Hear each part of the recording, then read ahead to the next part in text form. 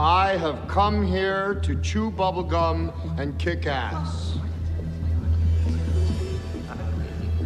And I'm all out of bubblegum. Fala pessoal, Leonardo voltando com mais um vídeo, mais um me obrigaram a fazer review. Dessa vez o Matheus Henrique de Souza ele pediu Bank Job de 2008, em português com efeito dominó, com Jason Statham, antes dele antes dele ir pra Hollywood, eu acho ainda. Ou ele tava entre os dois, né?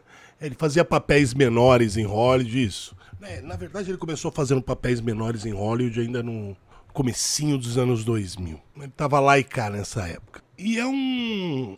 E apesar do nome, né, é um filme... Não é aquele filme de, de, de roubo estilo... É, 11 Homens, um Suspeito. É mais um filme de espionagem, vai. Filme aparentemente é baseado em fatos reais de uma dita foto da princesa Margaret. Para quem não sabe, a princesa Margaret é a irmã ou nem sei se está viva ainda. Né? Era a irmã da rainha Elizabeth, que morreu há pouco tempo. Era a irmãzinha dela. E aí, aparentemente, ela estava fazendo uma, uma brincadeira gostosa, marota, divertida sensual, muita esfirra, muita tesourada, muito velcro envolvido e um, um, um certo senhoro, né? Um, um, certo rapaz que também sentando a lenha na princesa. e aparentemente essas fotos estavam com um pseudo Malcolm X é, de Trinidad e Tobago que agia em Londres, né?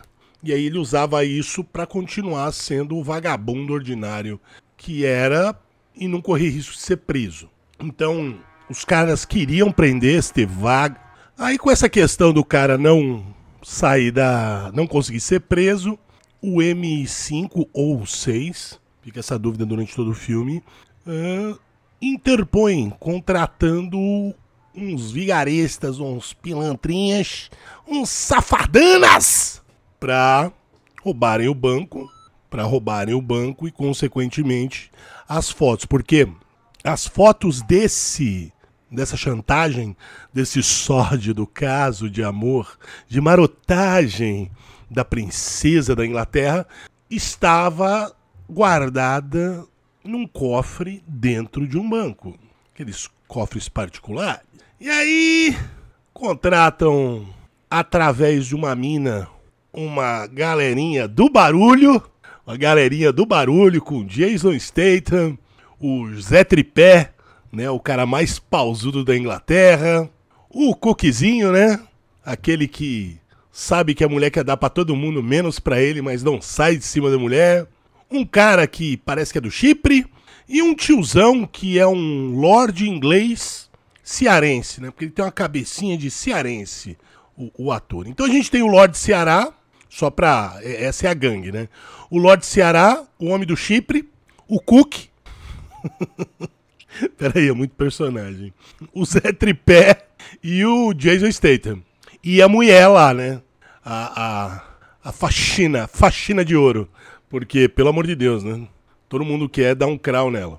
Então, através da faxina de ouro, faxina de ouro, eles eles são amigos dela tal. Pá, beleza, aí descobre que o banco vai ficar sem, sem alarme no final de semana. Aí eles vão por baixo de duas lojas, vão cavar um túnel para cair lá, papapá, papapá, bibi. O assalto realmente aconteceu. Inclusive foi conhecido na Inglaterra como o assalto do Walk Talk, porque enquanto eles estavam conversando um, durante o assalto, uh, durante o, a escavação do túnel, enfim, uh, em walk-talk, um cara, um rádio amador, ouviu tudo, chamou a polícia tal, pá. E aí eles finalmente conseguem roubar o banco. Então, Lorde Ceará, Chipre Guy, Cook, Zé Tripé, Jason Statham e Faxina, Faxina, roubam o banco. Mas Jason Statham descobre que, na verdade, a faxina só queria as fotos, porque o cara, o namoradinho dela do M5 ou 6, queria as fotos. E aí, muitas trapalhadas e diversão para esse grupo de amigos e ladrões. Eles roubam o cara, um livrinho dos, dos subornos do cara que é o rei da pornografia. Tem também umas fotos incriminadoras de uma dona de bordel, de lordes ingleses, tal. Eles ficam ali, macetado entre tudo isso. Enfim, como a gente poderia esperar. Ah, um deles morre. Mataram o José Tripé. O Zé Tripé morreu. O Zé Tripé morreu, mano! Como assim mataram o Zé Tripé? A maior piroca do Reino Unido! O pirocudo de Londres! Como assim, meu amigo? Mataram ele. Mataram o Zé Tripé. E, como de se esperar, tudo acaba bem, né?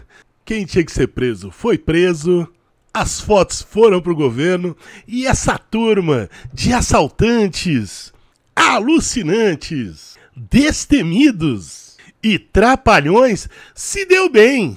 E todos ficaram milionários, porque, segundo o, a imprensa da época, foi roubado algo em torno de 500 mil libras, além de joias e tudo mais, que hoje daria algo em torno de 5 milhões de libras. Lembrando que ninguém disse, ninguém quis declarar o conteúdo que tinha nos mais. Acho que eles abriram mais de, de 100 cofres. Ninguém, simplesmente ninguém, quis divulgar o que havia nesse cofre. Então, possivelmente havia mais coisas, mais dinheiro, mais coisa divertida, né? Lá. Então, assim, o filme, o filme ele tem uma, ele flui de forma agradável. Você tem as reviravoltas, tal, pá. A morte funcionou bem, a morte do Zé Tripé funcionou bem para tipo é, realçar o perigo, porque a partir daquele momento você entende que os personagens estão realmente em perigo. Não fica só naquele negócio de ameaça, sabe? Que é muito comum. O Lord Ceará e o, o Chipre Man foram assassinados, pelo que o filme demonstra, pelo governo britânico. Mas é, é, o filme flui de uma forma satisfatória para quem está assistindo, principalmente quem gosta. Eu, por exemplo, adoro filme de roubo. É, tem um filme com o Donald Sutherland e o Sean Connery. Ah, e o primeiro roubo sob trilhos é um, é um roubo num trem de, um, de um cofre que está num trem no século XIX, ali na época vitoriana. É bem legal esse filme. Bem legal. Filme dos anos 70 ou 60, não sei. É bem legal. Eu sempre gostei de filme de assalto. Eu tenho Ocean's Eleven, a versão original em Blu-ray com o Frank Sinatra. É, então, sempre, sempre me agradaram esses filmes de roubo, tal, pá. E de espionagem também. E esse filme ele acaba sendo mais espionagem e, e, e contratempos do que um filme de roubo em si, né? É um super filme? Nossa senhora, pelo amor... Claro que não. É um filme recomendável? Sim, é um filme recomendável. Se você não assistiu, assista. É um filme bacana, é um filme legal. Uh, você tem personagens legais, você tem o, o, o, o Malcolm X lá, que é, um, que é um picareta do caramba, né? Que usa a cor pra, pra, como subterfúgio para ser vagabundo, pilantra, salafrário. Você tem o, o, o Zé Tripé, você tem o Jason Statham, você tem a Dona Faxina, você tem o, o Lord Ceará. Então, assim, o, os personagens são legais, o ritmo é legal. Uh, você sente bem aquele clima dos anos 70, porque o filme se passa acho que em 71, se eu não me engano. Então você sente bem aquele clima do final dos anos 60, começo dos anos 70. E assim, legal. Eu assisti esse filme uma vez só. Uma vez só. E isso lá nos anos 2000 mesmo. E eu assisti a segunda vez agora.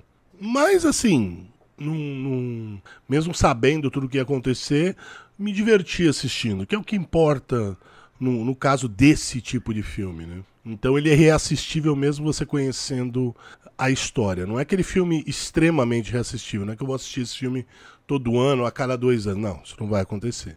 Mas é um filme bacana. Então é isso aí.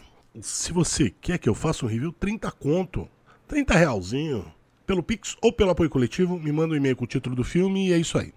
Pessoal, existem três formas de você ajudar, colaborar com o canal. Você pode enviar um Pix participar do apoio coletivo ou solicitar um filme através do Me Obrigar a Fazer Review. Seria legal se vocês pudessem colaborar com o canal, já que o Shadow Band já está durando aí um ano.